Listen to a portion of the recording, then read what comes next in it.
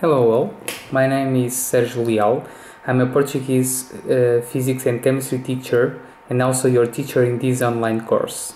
Welcome to Boyles Mariotte Law Verification through a remote lab called ELAB. Uh, about the course description in this online course, I can say that is uh, um, intended to, to uh, you to learn how to use this remote lab uh, in two weeks.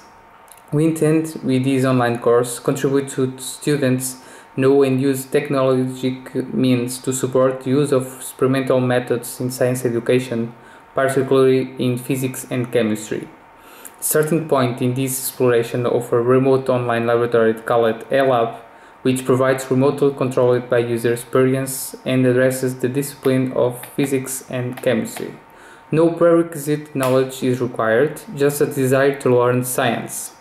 All materials for this course are available at Moodle platform where the course is going to take place.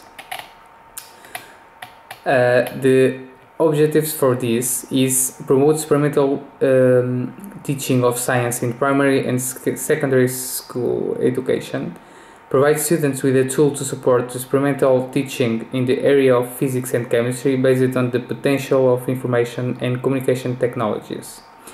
Provide a space for reflection in order to implement the experimental methods in the study of physics and chemistry.